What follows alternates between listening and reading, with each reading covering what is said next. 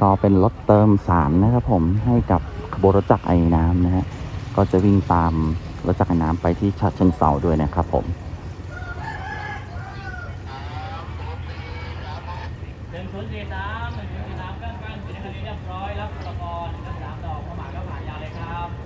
ขบวน 1043 นะครับผม